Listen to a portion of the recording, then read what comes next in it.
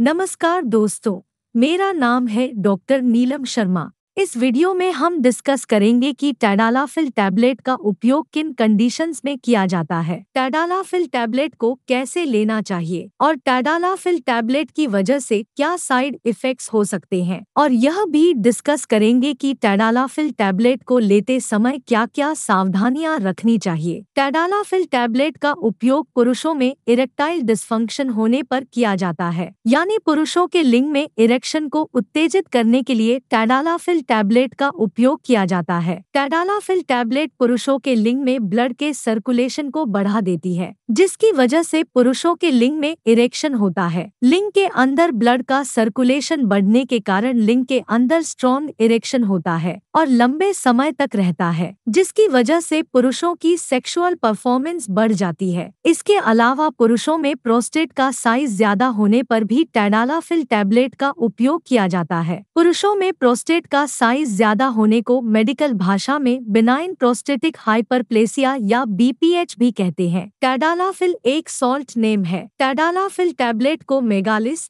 Cialis और Tadaflo आदि brand name से भी जाना जाता है। टैडालाफिल टैबलेट 2.5 पाँच 5 mg 10 mg और 20 mg की स्ट्रेंथ में अवेलेबल है। साइड इफेक्ट्स की बात करें तो वैसे तो ज़्यादातर व्यक्तियों में टैडालाफिल टैबलेट की वजह से कोई साइड इफेक्ट्स नहीं होते हैं, लेकिन कुछ परसेंट व्यक्तियों में टैडालाफिल टैबलेट की वजह से कुछ साइड इफेक्ट्स हो सकते हैं, जैसे सिरदर्द होना, कमर में दर्द होना, मांसपेशियों में दर्द होना, चक्कर आना, बदहजमी, उल्टी आने का मन होना, त्वचा पर रैशेस होना त्वचा का लाल होना और आँखों में धुंधलापन हो सकता है। अब हम डिस्कस करेंगे कि टैडालाफिल टैबलेट को कैसे लेना रिकमेंडेड होता है। टैडालाफिल टैबलेट को खाना खाने से पहले भी लिया जा सकता है और खाना खाने के बाद भी लिया जा सकता है। यदि आप टैडालाफिल टैबलेट को रात के समय लेना चाहते हैं तो आपको शाम के समय हल्का भोजन करना चाहिए, क्योंकि ज़्यादा फैटी और हैवी भोजन करने से टैडालाफिल टैबलेट का पेट के अंदर अवशोषण धीमा हो सकता है, जिसकी वजह से टैडालाफिल टैबलेट का असर आने में अधिक समय लग सकता है। आमतौर पर 18 वर्ष से अधिक उम्र के ज़्यादातर व्यक्तियों को डॉक्टर टैडालाफिल 10 mg टैबलेट को दिन में एक बार और सेक्सुअल एक्टिविटी करने से एक घंटे पहले लेने की सलाह देते हैं। अगर टैडालाफिल टैबलेट से संतोषजनक परिणाम नहीं मिलता है तो टैडालाफिल टैबलेट की डोज को 20 mg तक बढ़ाया जा सकता है और 5 mg एमजी तक घटाया जा सकता है। जो व्यक्ति पहली बार टैडालाफिल टैबलेट को लेने जा रहे हैं, उन व्यक्तियों के लिए शुरुआत में पाँच एम जी टैडालाफिल टैबलेट को लेना रिकमेंडेड होता है। जो व्यक्ति हर रोज टैडालाफिल टैबलेट को लेते हैं, ऐसे व्यक्तियों को डॉक्टर टैडालाफिल 2.5 mg टैबलेट को दिन में एक बार लेने की सलाह दे सकते हैं। पुरुषों में प्रोस्टेट के साइज़ को ठीक करने के लिए डॉक्टर टैडालाफिल 5 mg टैबलेट को दिन में एक एक ही बार लेने की सलाह देते हैं। टैडालाफिल टैबलेट की डोज उम्र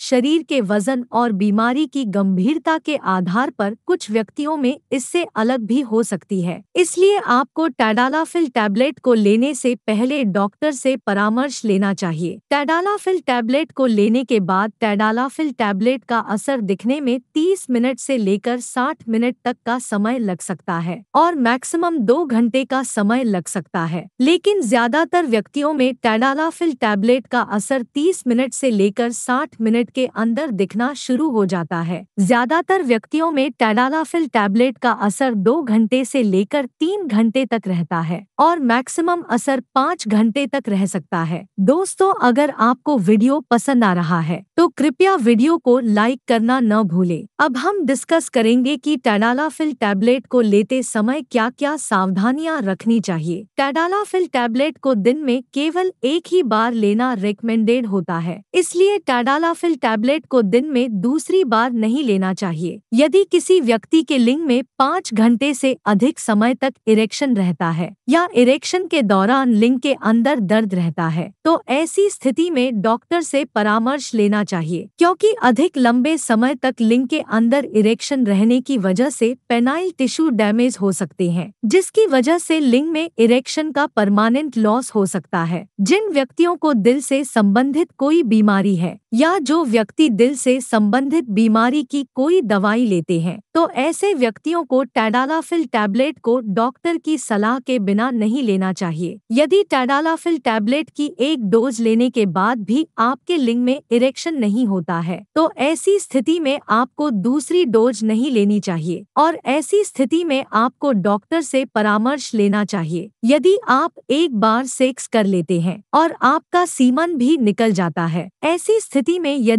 आप दोबारा सेक्स करने के लिए टैडालाफिल टैबलेट को लेते हैं तो ऐसी स्थिति में टैडालाफिल टैबलेट काम नहीं करेगी और टैडालाफिल टैबलेट को लेने के बाद शराब का सेवन नहीं करना चाहिए। अगर किसी व्यक्ति को टैडालाफिल टैबलेट या इसके किसी भी इंग्रेडिएंट से एलर्जी है तो ऐसे व्यक्तियों को टैडालाफिल टैबलेट का सेवन नहीं करना चाहिए और ऐसे व्यक्तियों को इसके बारे में डॉक्टर को भी बताना चाहिए। पुरुषों में इरेक्टाइल डिस्फंक्शन होने के बहुत से कारण हो सकते हैं, जैसे चिंता व तनाव डिप्रेशन डायबिटीज़ ब्लड प्रेशर अधिक होना कैंसर नशीली दवाओं का सेवन करना, शराब का अधिक सेवन करना धूम्रपान और हार्ट से संबंधित बीमारियाँ होने की वजह से पुरुषों में इरेक्टाइल डिस्फंक्शन हो सकता है। इसलिए पुरुषों में इरेक्टाइल डिस्फंक्शन को ठीक करने के लिए पहले कारण का पता लगाना बहुत ज़रूरी होता है। इसलिए इरेक्टाइल डिस्फंक्शन को बेहतर तरीके से ठीक करने के लिए आपको डॉक्टर से परामर्श लेना चाहिए और अपनी मर्ज़ी से टैडालाफिल टैबलेट को लेना शुरू नहीं करना चाहिए। वीडियो को देखने के लिए आपका धन्यवाद। अगर आपको वीडियो